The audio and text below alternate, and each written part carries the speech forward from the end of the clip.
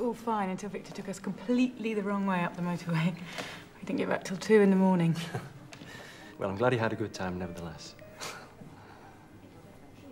Something bothering you? It's complicated. I can't help you if you don't tell me, Sandy. It's Victor. Has something changed? He's talking about moving in together. How do you feel about that? I think. I don't know. Is moving in the problem? When did this happen? Last week. Why didn't you tell me? You wouldn't understand. Why not? You tell me everything about him. Because. Because I don't want to lie to him anymore. Why is it lying? Unless you've never told him about us. Us? I mean, what do you mean, us?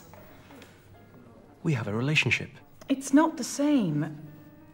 With Victor, I feel. Do you talk to him like you talk to me? No.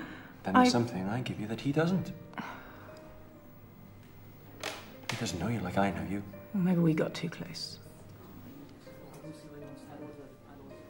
You knew what you were doing when you came here. Did I? I'm beginning to think I made a mistake. I'm trying to help you. Well, then stop analyzing me. You already made a decision. You hiding something from me. What are you talking about? Me. Victor. You. Who are you really cheating? Sandy? Is anything the matter, madam?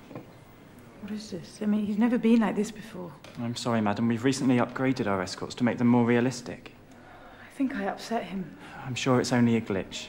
Would you like a complimentary meeting? No. I won't be needing him anymore. Thank you.